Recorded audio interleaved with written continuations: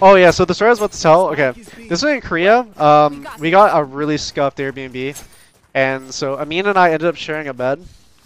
And I guess I'm I'm really used to just sleeping with Kyedae. Like I've been, like I I, I okay, yeah, yeah.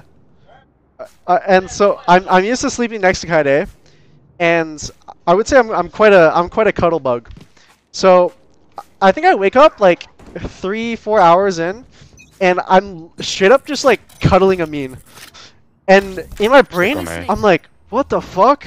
And I like, sl I I like, as I become more and more awake, I'm like, I'm like, what am I doing? And like, I like try to slowly get off. It was wild. 69 right now.